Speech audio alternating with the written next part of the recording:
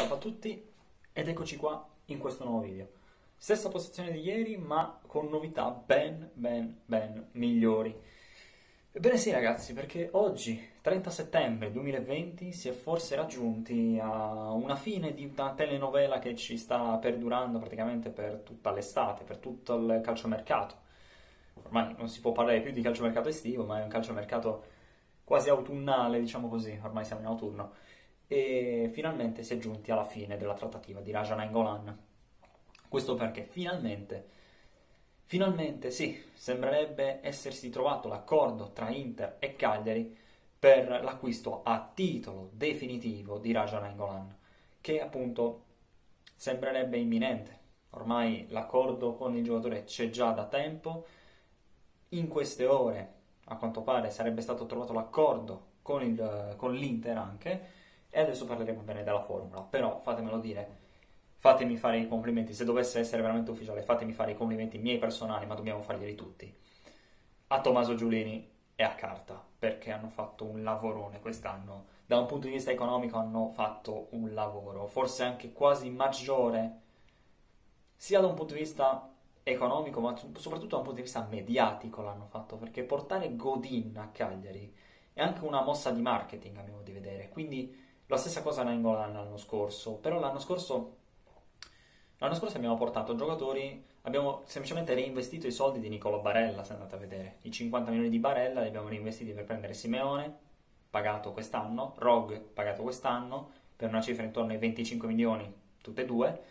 Abbiamo pagato Nandez 18 e poi sono arrivati Nainggolan in prestito e un'altra sfilza di giocatori un po' in prestito, comunque, cioè tra comunque parametro zero, prestiti, comunque altri, altri, acquisti non sono stati fatti quest'anno, di acquisti ne abbiamo fatti tanti, si andate a vedere, perché abbiamo comprato Tripaldelli, è arrivato Zappa, è arrivato Godin, è arrivato...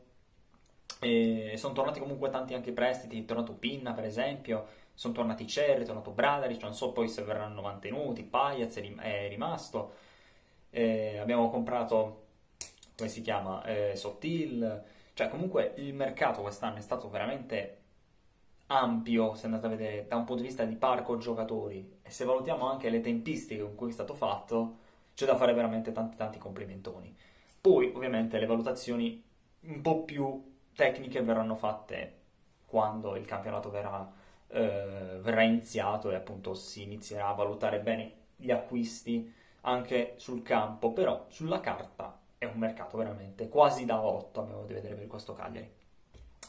Però comunque, stiamo parlando, tornando al discorso Nainggolan. Il giocatore sembrerebbe veramente vicino, sembrerebbe veramente a un passo. La trattativa, adesso parliamo della formula, l'acquisto è finalmente a titolo definitivo, 12 milioni di euro, adesso è da vedere se saranno 12 milioni di euro netti subito all'Inter oppure saranno 12 milioni dilazionati in due anni, quindi saranno 6 milioni quest'anno, 6 milioni l'anno prossimo. Inoltre, nella trattativa saranno inseriti due giocatori del Cagliari, due giocatori primavera del Cagliari, ex primavera ormai, perché fanno parte della prima squadra e soprattutto giocatori che stanno in questo momento in prestito all'Olbia. Stiamo parlando di praticamente il giocatore sicuro che andrà all'Inter, ossia Riccardo Ladinetti. Centrocampista classe 2000, fuori quota ormai dalla primavera, l'ha fatto anche l'anno scorso, è stato capitano, ha fatto veramente benissimo, mi sembra 4 gol e 5 assist l'anno scorso in primavera Quest'anno anche, ha, avuto anche la gioia, tra l'altro l'anno scorso con Zenga, di debuttare in Serie A finalmente, potete vedere, perché un giocatore come lui da tempo doveva esordire e non l'ha fatto né con Maran, ma neanche, cioè appunto non l'ha fatto con Maran, l'ha fatto con Zenga e gli diamo il merito.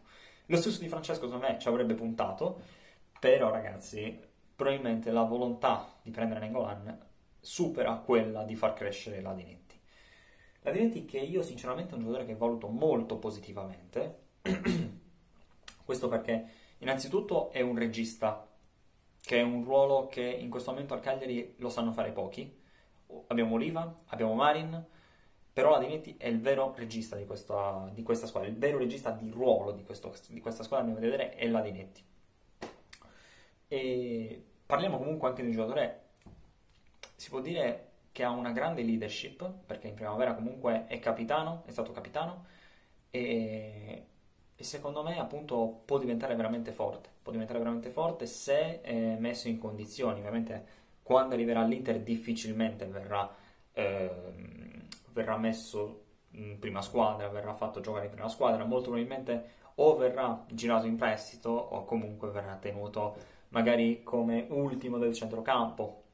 Dubito verrà passato in primavera perché comunque ormai ha 20, 20 anni, quindi non penso vada a giocare in primavera, però se dovesse eh, in prima prova dall'Inter, l'unica vera opzione per poi, per poi gestirlo bene è, è, girarlo in prestito, che sia in Serie B, che sia in un'altra di Serie A, magari potrebbe tornare, chi lo sa, magari riusciamo a prendere l'Adinetti, riusciamo a tenercelo magari un altro anno, però non avrebbe molto senso comunque come, come trattativa. Quindi per me comunque l'Adinetti è un giocatore, a mio vedere, per Nangolan sacrificabile, ma da un lato mi dispiace perché innanzitutto è sardo, e con i sardi qua a Cagliari siamo abbastanza legati. Lui è di San Luri, quindi comunque non è zona mia, però comunque sia un pochettino ci avviciniamo. E centro Sardegna, io sono del Cagliaritano più o meno, quindi vabbè, siamo lì.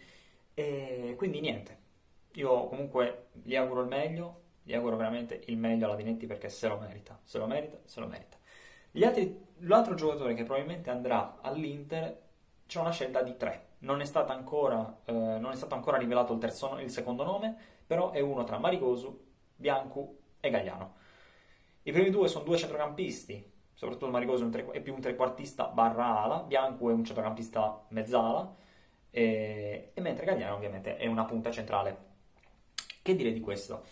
Di questi tre giocatori? Allora, Marigosu è sinceramente quello che valuto più positivamente. Molti penseranno che avrei detto Gagliano, però uh, Gagliano, allora sì, ha segnato il gol contro la Juve, è un buon attaccante, tra l'altro aveva già debuttato all'era di Lopez in prima squadra nella sconfitta contro il Pordenone. Però anche lui non lo so, sinceramente lo valuto un po'... Non lo so, è anche lui un po' un fuori quota ormai, anche lui mi sembra sia classe 2000, Marigoso invece è classe 2001. È un trequartista che ha un piede, ragazzi, cioè un piedino, questo qua per gli assist che è veramente niente male. Centrocampista, lui sì, è della mia zona, più o meno decimo manno ed è veramente un grandissimo trequartista. L'anno scorso in primavera ha segnato soltanto una rete, ma ha fatto ben 9 assist, quindi ragazzi stiamo parlando sicuramente di un giocatore veramente valido.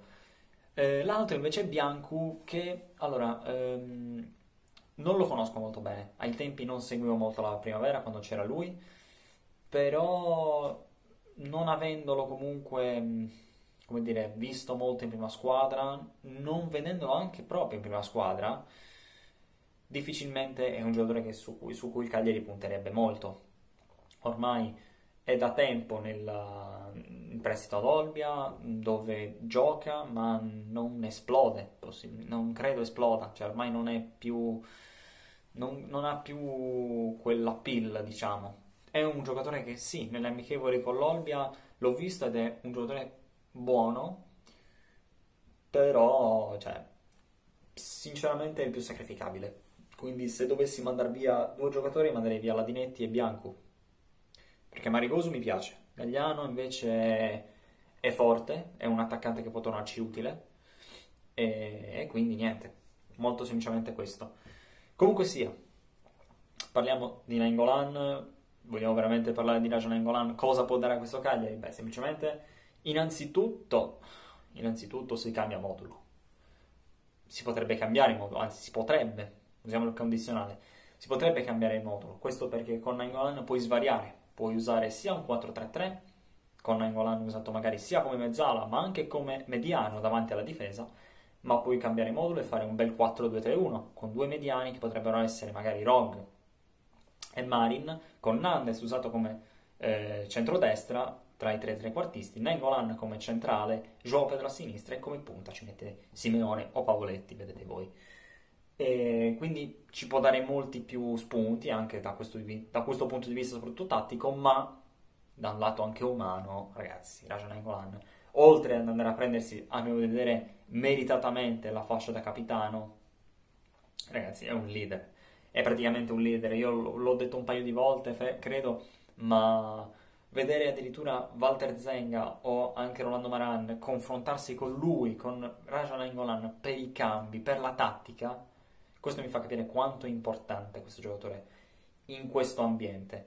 Inoltre lui non è per niente, non è per niente restio ad accettare perché lui vuole tornare qui, lui, è, lui vuole essere protagonista, ormai ha 32 anni, non è più un giovanotto, quando è arrivato qui era sì un giovanotto, lo possiamo dire, era arrivato dal Piacenza ai tempi e veramente era giovane, adesso ha 32 anni, adesso ha 32 anni, quindi vuole una piazza che lo faccia giocare titolare, che lo faccia eh, diventare, che lo faccia essere al centro del progetto. E il Cagliari è, è una di quelle. L'Inter gli avrebbe comunque concesso sì di mantenersi in rosa, ma eh, di restare comunque con un ruolo da comprimario. Si sarebbe giocato il posto comunque con Vidal, con Brozovic, con Barella. Comunque non sarebbe stato un titolare al 100%, non sarebbe stato leader di quel centrocampo. A Cagliari sicuramente potrebbe fare, se in forma, 38 partite su 38. Cioè, ragazzi, ovviamente eh, mi sembra più che giusto.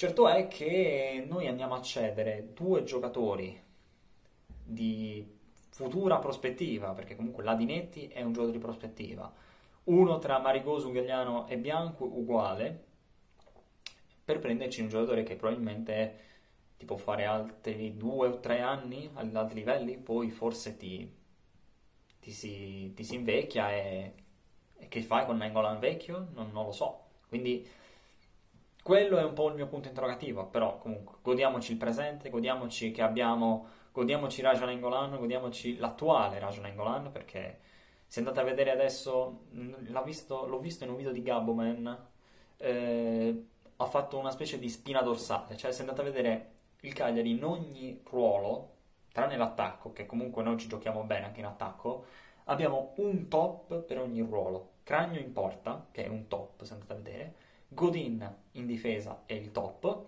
Nainggolan a centrocampo sarebbe il top, e in attacco comunque non stiamo messi male, tra Joao Pedro, Simeone, Pavoletti, quando ritornerà forse Gaston Pereiro, comunque il parco giocatori anche in attacco non è male. Quindi state a vedere si è formata questa specie di spina dorsale, questo telaio del Cagliari che sicuramente può farci, può farci diciamo bene da un lato di vista tattico, da un lato di vista carismatico, perché Godin ragazzi è un leader anche fuori, Nangolan uguale, e quindi non possiamo, non possiamo che non essere contenti. Per quanto riguarda quelle altre trattative, io qua stavo guardando sul, sul tablet qualche trattativa. Allora, ehm, sinceramente adesso non ho visto le, la veridicità, non so, dice, non so, se si dice così, la veridicità comunque delle varie trattative, però a quanto pare Cagliari starebbe facendo anche un tentativo per Bruno Perez. In questo momento Cagliari comunque, ricordiamolo, sta trattando anche Sabelli dal Brescia. La trattativa comunque è ben avviata, si dovrebbe la distanza sarebbe minima, valerebbero, valerebbero comunque 500.000 euro perché il Cagliari offre un milione mentre il Brescia ne vuole uno e mezzo, quindi comunque la trattativa è lì, è sul punto di chiudersi, però per pararsi forse il Cagliari starebbe pensando a Bruno Perez, giocatore che oltre ad essere positivo, eh, oltre ad essere stato positivo al coronavirus nell'ultimo periodo, eh, a Roma non è ben visto diciamo dalla piazza, eh, però l'unico, l'unico difetto è che appunto ha un ingaggio non indifferente e poi se andate a vedere la Roma in quella fascia di campo, in quella zona di campo ha soltanto lui e Karsdorp. E, far, e cedere, Karsdorp, cedere uno dei due significherebbe appunto rimanere con uno solo. E mi sembra abbastanza difficile che la Roma si privi soprattutto in questo momento del mercato di un giocatore come lui perché appunto eh, sono gli unici due che hanno. Cioè, sarebbe anche dovuto partire Karsdorp, da quel che so, sarebbe dovuto finire all'Atalanta o al Genoa, comunque sarebbe dovuto partire anche lui, Perez sarebbe dovuto rimanere, però non lo so, quindi adesso è cercato dal Cagliari. Il giocatore comunque arriverebbe a parametro zero, sia chiaro, non andremo a pagare uno spicciolo alla Roma, andremo a pagare soltanto il suo ingaggio che è ben che è comunque importante perché sono 3 milioni di euro, quelli che prende Bruno Perez a Roma, si potrebbero spalmare volendo in un biennale da un milione e mezzo. Sinceramente, allora, Bruno Perez è un buon giocatore, che tra l'altro Di Francesco ha avuto, mi sembra, anche a Roma. Non so, sinceramente, se ce l'ha avuto lui oppure era già andato via in prestito in Brasile. Comunque, parliamo di un giocatore che da un lato offensivo può fare veramente bene, perché ha una grande spinta, è veloce, ha anche un piede interessante per i cross un po' meno da un lato difensivo, perché non, non, non, è il classico terzino brasiliano che spinge ma non sa difendere. E quindi se proprio dobbiamo prendere Bruno Perez, a quel punto sarebbe più idoneo passare a una difesa a 3, perché come esterno in centrocampo Perez sarebbe molto meglio, invece che come da terzino, da terzino basso. Eh, gli altri giocatori invece che stiamo trattando, allora, mh, mm, oltre ad un ass che sinceramente non ho trovato molte conferme, si parla che sarebbe la prima, la prima scelta tra i vari esterni del Cagliari, che si potrebbe prendere il Cagliari, però non ho trovato grandi notizie in, questo, in quest'ultima ora, magari domani magari spunterà qualcosa. In ogni caso non ho trovato, non ho trovato conferme di questa trattativa. Più che altro si, sempre, si, parla sempre comunque di Mancosu che potrebbe arrivare come low cost, comunque potrebbe arrivare come arriva all'ultimo insieme a Nangolan e comunque potrebbe rinforzare un, un reparto che in, momento, in, questo momento a livello di numero soprattutto non ci sta dando grandi garanzie, ovvero la, tre, la, la mezze ali, perché comunque se andate a vedere Nandez, abbiamo Nandez, Rog, Caligara, Marin, cioè comunque c'è Farago adattabile, quindi no, in realtà Farago quello è il suo ruolo, cioè, ok? Quindi se andate a vedere comunque andare a prendere Mancoso non sarebbe neanche una brutta scelta. Poi nel 4-2-3-1 sarebbe un vice di Nainggolan. E non costa moltissimo, anzi non costa praticamente nulla se andate a vedere perché andiamo a pagarlo 3 milioni. Il, il cartellino potrebbe anche abbassarsi se al Lecce possiamo, pot, eh, interessasse magari un giocatore dei nostri, quindi si è parlato di Pisacane, si è parlato di Despotov, che io sinceramente non farei partire entrambi, ma si è parlato anche di Marco Pagliaz, e Marco Pagliaz lo farei partire io personalmente perché ormai non ha più nulla da dare a questo Cagliari. Comunque sia, ho parlato tantissimo, sono in extra bit. Voi fatemi sapere cosa ne pensate qua sotto nei commenti, mi raccomando. E lasciate qua qualche commento, quindi fatemi sapere. Vi lascio anche qua sotto il, i miei due profili, quello privato mio se volete seguitemi, e soprattutto l'angolo dello Scombols dove metto tante notizie e dove, soprattutto dove metto notizie in anteprima, quindi mi raccomando seguitemi anche lì. Fatemi sapere cosa ne pensate e niente. Forza Castello sempre, mi raccomando Raja, anche tu Mancosu, Ciao Ladinetti, ciao a tutti ragazzi, forza Castello sempre.